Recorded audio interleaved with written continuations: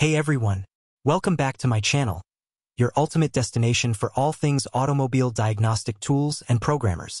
If you're passionate about understanding the inner workings of your vehicle and keeping it in top-notch condition, you're in the right place.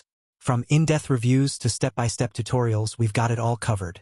Before we dive into today's video, make sure to smash that subscribe button and click the bell icon so you never miss an update. And if you find our content helpful, consider giving us a super thanks to support the channel.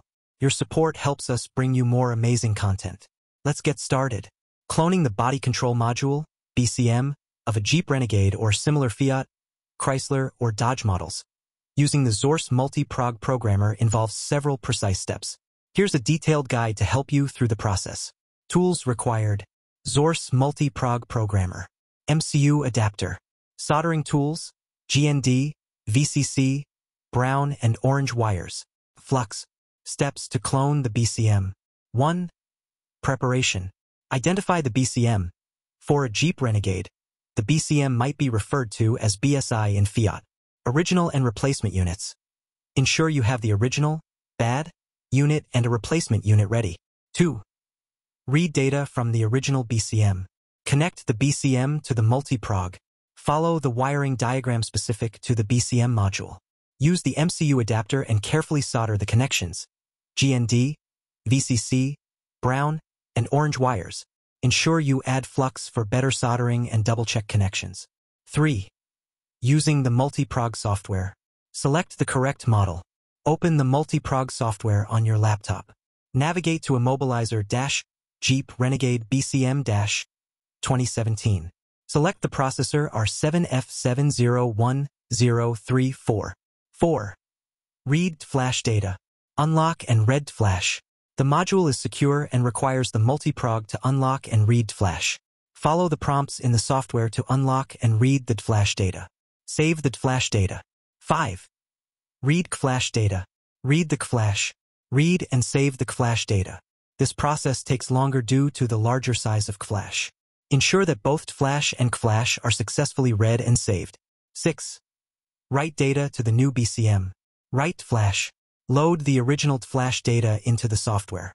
Write the flash to the new BCM. Confirm the successful write operation. Write flash. Load the original flash data. Write the flash to the new BCM. Confirm the successful write operation. 7. Finalizing the process. Unsolder connections. Carefully unsolder the pinouts and clean the soldered areas on the new BCM. Testing. Install the cloned BCM into the vehicle and verify that it functions correctly. Detailed soldering tips. Use high-quality solder and flux. This ensures strong connections and reduces the chance of errors. Double-check connections. Ensure all connections are secure before proceeding to read or write data. Follow the wiring diagram closely.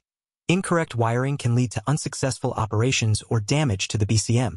By following these steps, you should be able to clone the BCM of your Jeep Renegade or similar Fiat Chrysler, or Dodge models, successfully using the Xhorse multi-prog programmer.